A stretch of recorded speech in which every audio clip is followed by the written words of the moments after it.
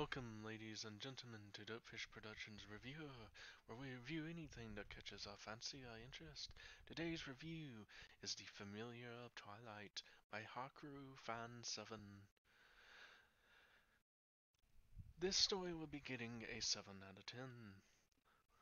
The main reason I will be giving it a such a lower rating is because there hasn't been that many chapters and I will have to wait until there's more chapters to give it a proper higher rating. But it's pretty much a retelling of Familiar Zero with uh, Roxas from Kingdom Hearts thrown in. And I believe this is one of the more powerful Roxases in the stories. Uh, honestly, that's debatable. I think he's like the second most powerful because he has all his abilities from the game.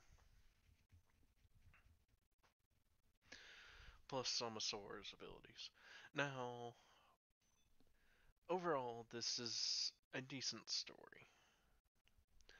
Be mainly because I was a semi fan of Familiar Zero, but overall, that story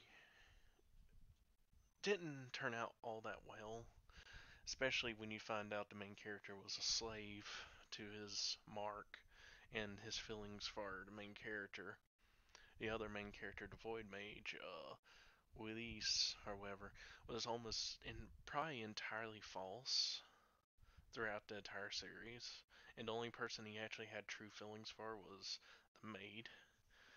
That was my honest opinion by watching the anime and reading the story originally. Now, Roxas, he is strong enough to completely ignore the mark, which I thoroughly enjoy. You definitely have a totally different outcome if this wasn't a harem um, story.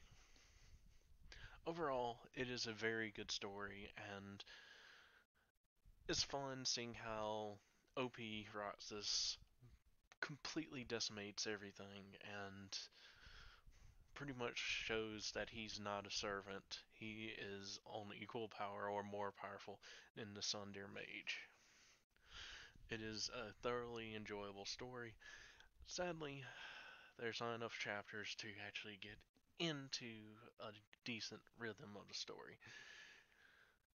He drew out the first couple of chapters that could honestly been breezed through uh, to make it more unique to the story, and I thoroughly enjoyed it. I can't wait to he has more, and that's pretty much all I can talk about for this one. I really wish I could have made this video longer, but I just can't. Thank you for coming to Fish Productions Reviewer, and peace.